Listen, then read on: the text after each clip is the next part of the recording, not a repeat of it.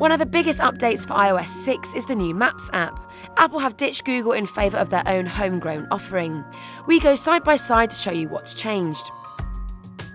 Apple have now included turn by turn navigation powered by TomTom, so you'll be able to use your phone as a fully fledged sat nav.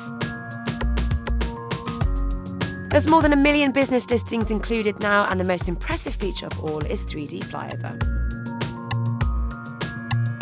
Big Ben here looks pretty amazing, and you'll be able to zoom and rotate your view around buildings in full 3D.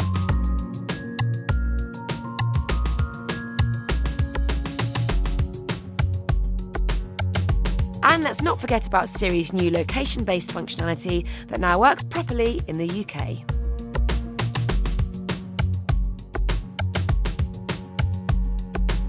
Would you like to uh, get directions or skip to the next one?